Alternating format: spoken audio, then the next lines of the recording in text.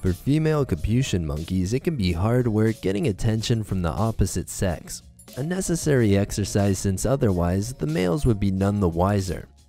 So to communicate they are in heat, a select group of females in Brazil were observed throwing stones in a playful hit and run type manner.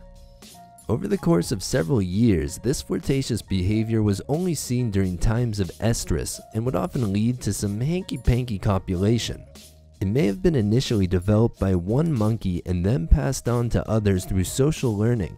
But interestingly enough, since females remain within their group for life, this aspect of their sexual culture is unlikely to transfer outside to others.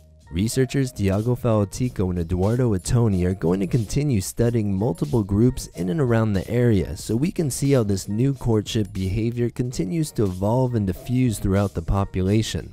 Once again, thanks for tuning in and giddy up.